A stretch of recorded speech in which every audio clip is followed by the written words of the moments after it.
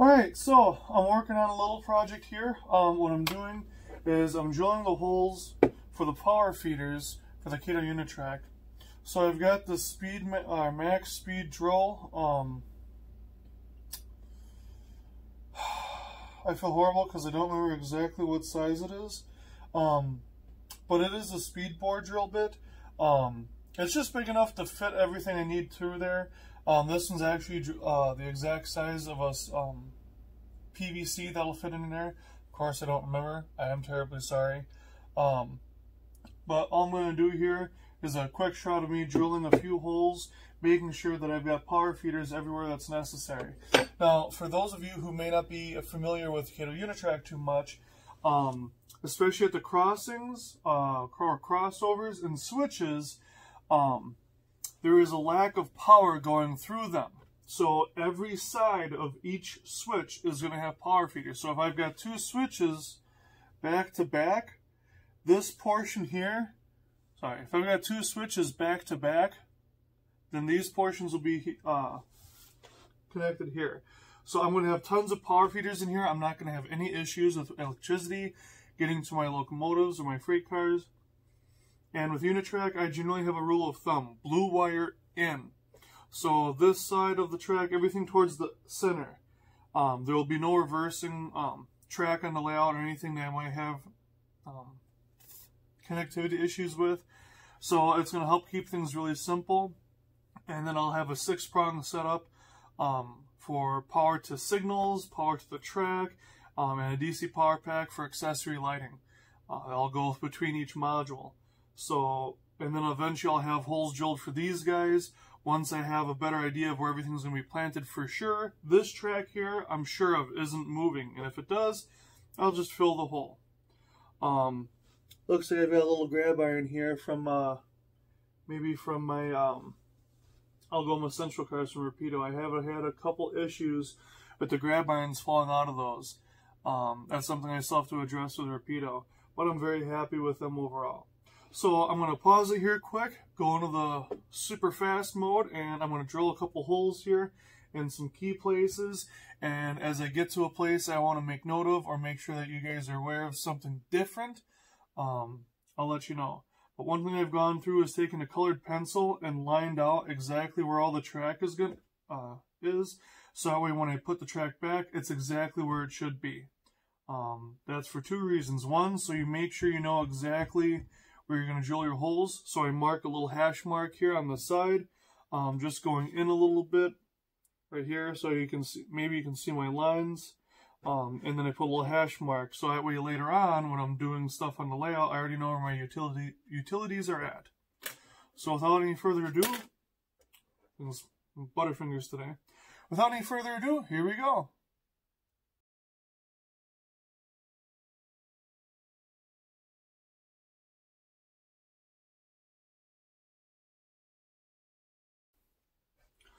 Alright, so now I'm going to show you how to install Kato Unitrack power feeder. Come in this little packet, part number 24-818. It's a quantity of one. At my hobby shop, um, with their discount is $3.50. List price is about $5. So I'm just going to open it up here, like so. I'm going to feed the connector, male connector through, like so. Drop that down in there. Before it gets too far, I'm going to pull off the connectors on here.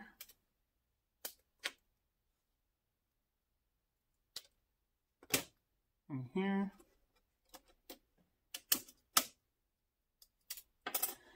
Let's see if I can do this right.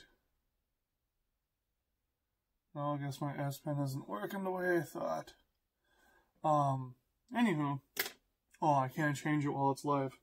Alright, so hopefully you can see what I'm doing here a little bit. Um, so what I'm going to do is, again, make sure that blue is to the inside. And then what I always do is I make sure that the wire that I'm putting on is going underneath the track. Like so. So when this one gets pulled out, this will come off this way. So you see the wires coming out.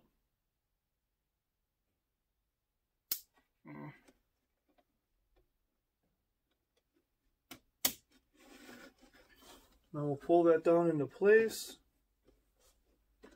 Snap it back in. And just like that, it's done.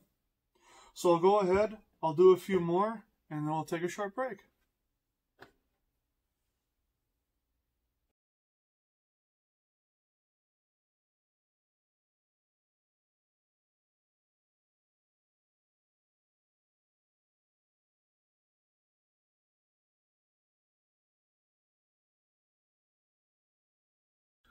Alright, so we're under the layout now. I'm going to show you a couple little things. Um, if you'll notice, I've got three wire drops here. Okay? What I'm going to use is this little splitter from Kato. Now I'm just going to plug all these in. If you have all the wires facing the same way, you're fine because these only get plugged in one way, so you don't have to worry about cross wires. And now I only have one that I have to plug into my bus. So what's nice about this is everything's organized. So I can write on here that I have a specific block. Um, and it's even got arrows on here, not that you need them, but you could label this, say, hey, this is track 1, section A, track 2, section B, track 3, section C, if you like. Um, not that you have to get into it that much, but I'll probably take this one as the Pepsi plant. So if I need to start troubleshooting, I just unplug it and I can do that. This will also be great later if I decide to go to block detection. I can isolate everything and have everything labeled under here so I know exactly what wire is what. Um, that's one of the really handy features with Kato Unitrack. I know you can cheat, use your own wiring if you like, but I prefer to go this way. It's part of the convenience of Kato Unitrack for me. And if you notice, I've got a little box down here that's catching all my trash and everything that I drill, so there's a little less mess to clean up. Alright, now that we're back on top of the layout here, I'm just going to take a short time lapse of uh, me going through and highlighting all the places on the layout where I'm going to have um, power feeders. I'm going to take my pen here, I'm going to trace out where all the track is over here, move all the rolling stock around so that I can have everything exactly where I want it, outline, and then mark. And I know exactly how many I need to order. Um, unfortunately, all the pieces I have are extensions, um, splitters, and uh, I only have one more feeder, so I need to order some more feeders. And I know exactly what part number I need to order. Um, for the three-piece divider, that's 24-827, and that's a three-way extension cord, um, 90 centimeters, and you'll get one per pack. List price is 650. Um, sale, uh, sale price, I can get it down to 455 um, at one of my local hobby shops. Um, so check in your local hobby shops. The more you buy, the more likely they are to kind of help work with you a little bit. Um, personally, I recommend Southside Trains and Hiawatha Hobbies. Um, they always give you a fair deal. Um, I don't, I don't know how often that they have stuff actually at list price. Um, so they're excellent hobby shops to visit. Um, so without further ado, I'll get moving.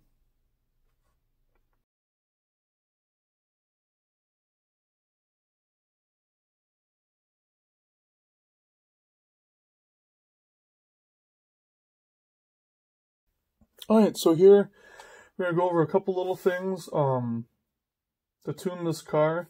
I've already gone through, put some of these scale couplers on here, and I've gone ahead and painted the trip pins to look a little bit more usable, so it looks like an air hose. I just silvered the tips and then painted the trip pins black. Um, not a whole lot of underbody detail in here other than the basic stuff that you'd see from the side of the car. Um, but we're going to go through and set the height on these because you can see they're a little little floppy here. So first we're going to see if the coupler height is correct. And if the coupler height is correct, we just have to adjust the trip pin. Um, so I'm doing this with the NMRA gauge. So you can see that the height is a little down, but if we lift the coupler up,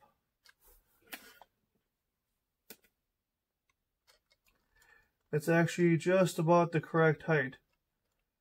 So we know we don't need to do a whole lot to get there.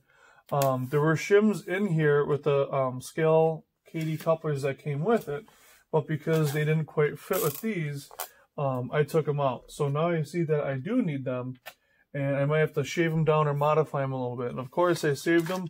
I've got this box here of um, stuff that I always save for my cars and equipment, so I'm going to pull these shims out real quick with my pliers here. if I can.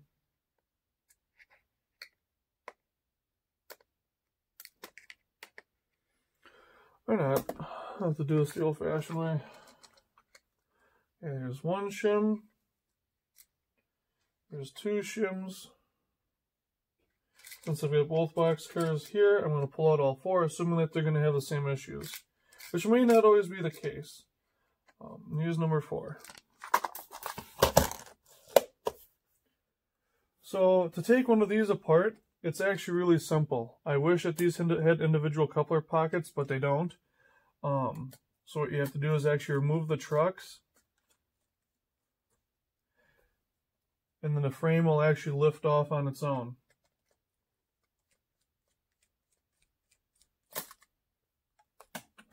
The frame just comes right up with a little bit of work there, just like that. Um, which if you ask me is one of the problems with these. Um, because it's not screwed on, um, it doesn't work the best that I feel personally. So what we're going to do is, since we want the couplers to stop from drooping, we're going to put these shims back in here, like so. Clear off the, some of the debris from the bottom of the car. Just lightly place the couplers.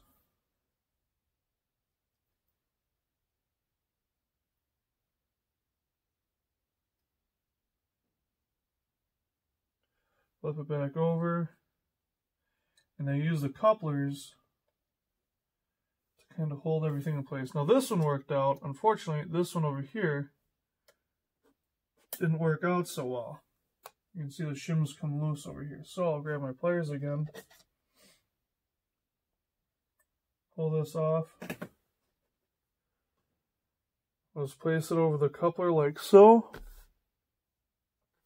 So that the holes line up a little bit. Lift the frame, slide it under, and just kind of wiggle it around until it fits. So now that the coupler's in, it's still moving freely with the shim in there, um, which is something you want to make sure, otherwise you might have to shave it down a little bit or play with it um, I've never had to lubricate a coupler. Maybe a little bit of um, graphite from a pencil or something to slide around, but I never want to put anything liquid in there because then it can seep into other places and whatnot, and that just seems like a dangerous thing or potentially harmful to the car. I'll carefully put these screws back in. I found that these are, on a couple of these Athearn cars, are actually stripped. Now, when you're putting the trucks back on, you want to kind of tune the trucks a little bit. And what I mean by that is um,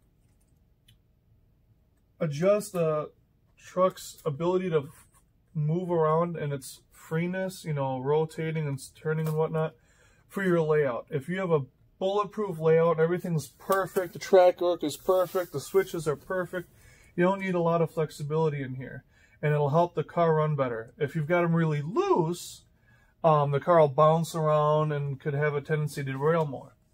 Now, in an old model railroader article, um, model railroader article, they said one of these should only have two dimensions of play and swivel, the other one should have three, and you adjust it as the layout requires. So on a club layout that might have a little bit more realistic track work, you could say, um, you might need to tune them a bit more. Now that was the case when I belonged to a couple different model railroad clubs, and I was frequently using all of my equipment there. I would take hours upon hours to tune a single freight car if I needed to, and it would run flawlessly after that. I've got a video of a 200 car train on there, um, and for the most part, it ran very well, um, I think. Um, if you watch it, you might find that to be a different case for yourself, but hey.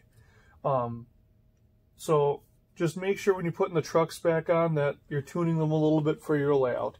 So being that I have Unitrack, um, everything's going to be level, everything's going to be quote unquote perfect. I don't feel that I need a whole lot of flexibility in these. Um, I want to make sure that it tracks well accordingly. So I'm going to put this aside, move that out of there. That is not a prop. Alright, so now we're going to check this again. Coupler height looks good, trip pin height is good. We are set on this side. Uh, actually, a trip pin might have to come up, or the coupler height might have to come up just a wee bit. Actually, that's what I'm going to do. I'm going to bring up the coupler height a little bit with a couple little red washers here. So I've got these. Oh, that's not them. Here they are. I believe I've red and gray. Okay. So I've got these two different sizes of washers here. Um, uh, the red fiber washers and the gray insulating fiber washers. Um, actually, they're both insulating, but they're truck spacers. Um, that's how I use them. So 209 and I think 208 or maybe 210. Um, I'm not sure. But, um, oh yeah, this is 208. Last three digits here, last three digits here. So these are 208 and 209. Awesome. Always keep some of these on hand. They're great just for this. Um, so what I'm going to do is just dump out a couple here. I'm dumping out four, assuming that if this one needs it, that one will probably need it. Um, so what I'm going to do here is take the truck off again. Put on one of these washers. Sometimes you'll have to file it out to fit over there, fit it over properly. Um, and then it also adds, because it is a fiber washer, it adds a tiny, tiny amount of suspension. Not anything you, you may notice, um, but it, it does add a little bit of flexibility to it above and beyond what there already was. So I'm just going to go ahead and do both of them right away. If you notice when I do this, um, I tighten it I tighten it down until the truck doesn't move at all, and then I loosen it up. That's to help set the washer all the way down against the bolster here. You can see there's a little bit of space there. And uh, you use the truck as kind of a press to press fit that washer on. And for me, this has always worked very well. Um, so I just tighten it down until the truck is not free anymore. Okay, it's not hardly moving. So I know that that washer's pressed all the way down. And I'll loosen it up until I have the trucks exactly where I want them, just like that. Maybe a hair more, um, like an eighth of a turn. You'd be amazed. Yep, just like that. There's so much more play. You really need to fine tune this. Okay. Somewhere in there. Just a bit of a turn. There we go. That's what I want. All right. So we're going to take this guy out, put him back on here.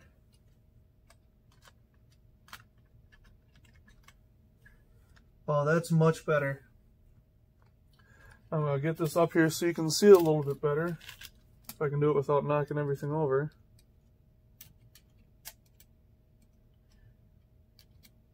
So you can see the coupler height Boom, right there, dead nuts on. So we're going to turn the car around, put it back on the track. Same, oh, nope, that's high. So I could probably take that red washer out of this side um, and check it again. So we're just going to go ahead and do that.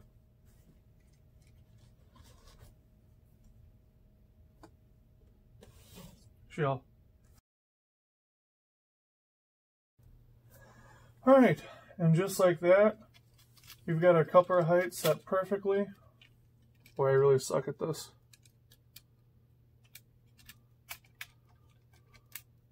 So we've got our coupler height set perfectly here. Let's see if we can look at that. Oh, that's not quite. There we go. There we are. All right, so you can see the coupler and the trip pin height is set perfectly per the NMRA gauge. Um, these aren't expensive. Um, I forget what these go for at the local hobby shop, but I want to say this was like seven or eight bucks when I bought it. Um, with the new tariffs, it might have gone up a few cents or a dollar or something. But I'm just going to go through do this other car real quick, and it should only take a moment for you.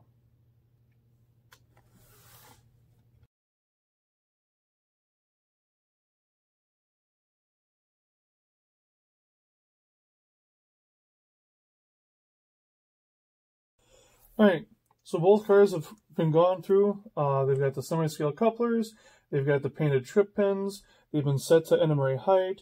Everything should be good to go. Um, trucks tuned and everything. So let's go try them out on the track and the crossings now and see how it works.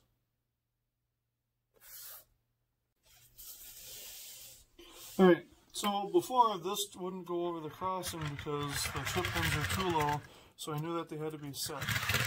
Now you can see they work just fine. They roll effortlessly. Everything works as it should. So the next thing I'm going to tackle now is this guy. You can see the coupler height's a little bit off on here. Um, the tank car is a little bit high. Um, I do have the proper uh, shelf knuckle couplers on here from KD. Um, they're not the semi-scale like I prefer, um, but I still think they look better than the plastic ones. I just don't like the plastic ones at all. Um, while the coupler height is not horribly off, if we take a look at, um, I'm sure that it's uh, a bit off from the NMRA gauge, since that we know that these are set and that that is a bit high. It also doesn't help that the coupler is significantly larger. Um, but eventually, um, when it's when it's time to start operating, I'll use magnets to uncouple these um, rather than a pin from overhead or something. So as you can see, there's a little bit of difference here. It's not too dramatic. It's actually maybe not even worth worrying about. Um, but I do like to see the majority of my rolling stock all pretty similar, even though the prototype isn't that way. But if I go to a friend's layout with this stuff, it's nice to have it exactly how it should be. So I'm going to put these in the order that they should be in because the Sargento car here is going to get dropped off at the Michaels um, facility uh, for Pepsi. Why is this thing sticking?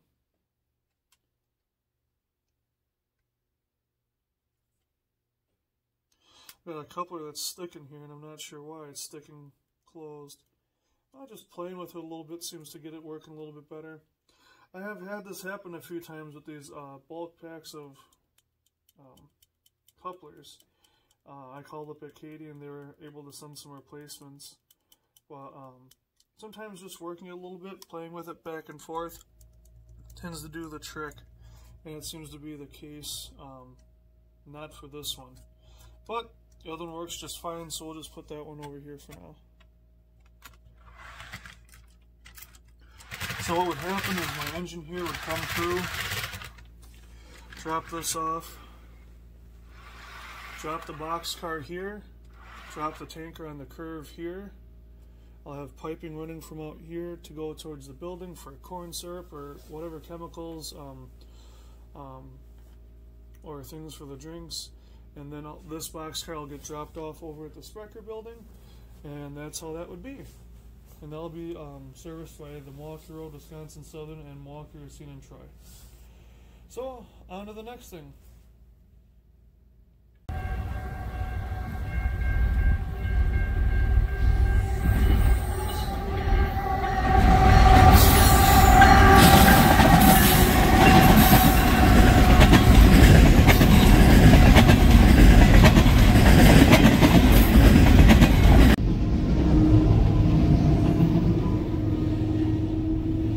Here's the DPU light.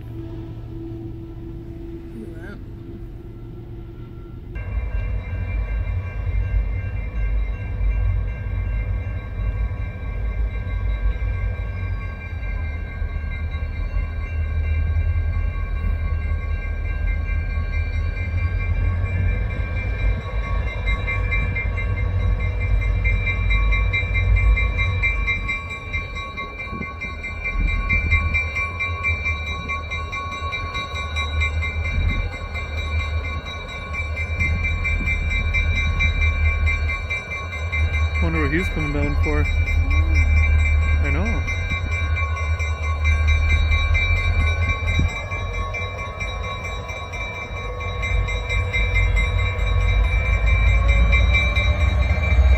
I think he's just making sure the crossing's safe.